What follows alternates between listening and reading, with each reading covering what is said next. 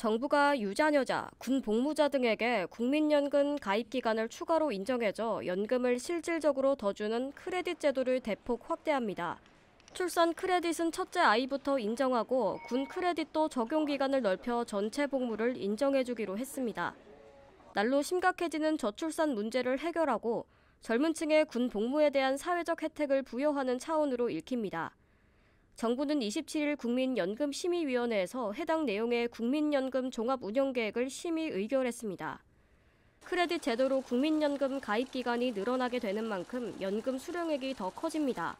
현재 출산 크레딧은 아이를 아예 낳지 않는 가정도 많은 상황에서 이러한 정책은 실효성이 없다는 비판이 제기돼 왔습니다.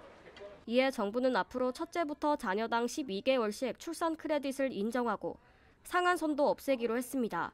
더불어 앞으로는 출산과 동시에 크레딧을 인정해 혜택을 크게 늘렸습니다.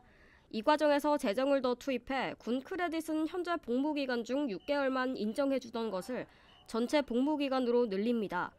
크레딧을 인정해주는 시점도 연금 수급 시점이 아닌 군 복무가 끝나는 대로 앞당깁니다. 조규훈 보건복지부 장관은 청년 세대를 위해 출산 군복무와 같은 사회적으로 가치 있는 활동에 대한 보상을 강화하겠다고 밝혔습니다.